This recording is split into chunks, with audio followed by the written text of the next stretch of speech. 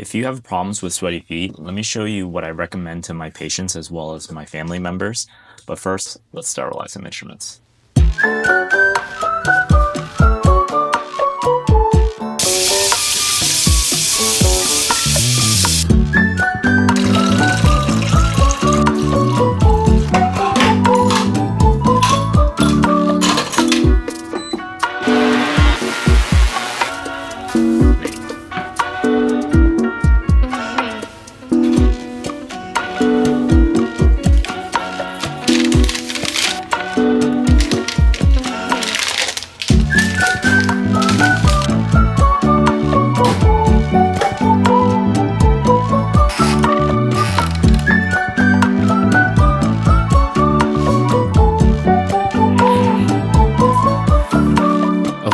So a lot of you on social media have been asking me about how to deal with sweaty feet. We're not talking about uh, regular sweaty feet because I want to preface by saying everybody sweats. But what we're talking about is if you have problems with when you're just sitting there on the couch, and even though you're not doing anything strenuous, beads of sweat start to form on the bottom of your feet or on the palms of your hands, that may be a condition called hyperhidrosis.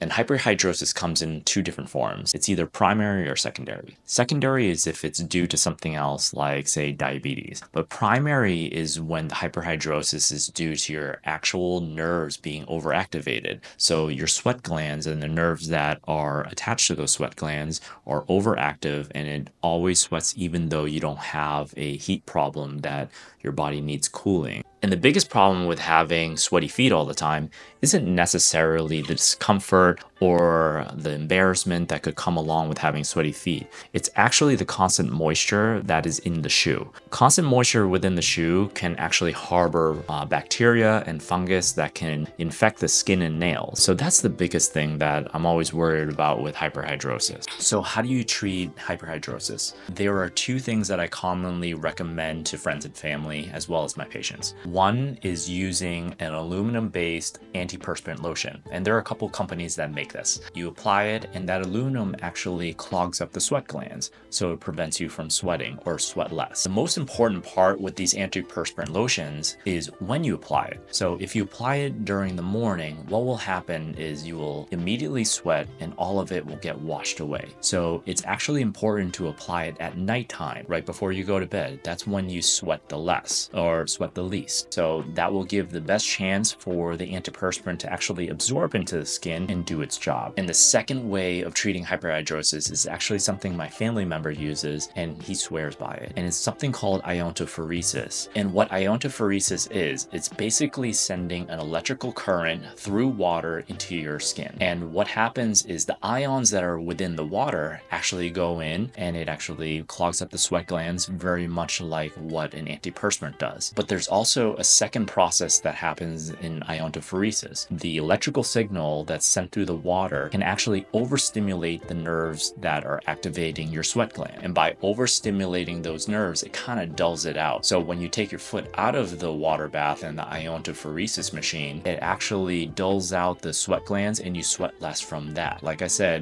my family member uses it and he swears by it. Promise you, I'm not sponsored by any type of iontophoresis uh, company, but if you wanted to pick up an iontophoresis machine, the one that he uses is called Dermadry. So those are the two most common recommendations that I have for my patients as well as family members. So give it a try. Maybe it'll help with your hyperhidrosis.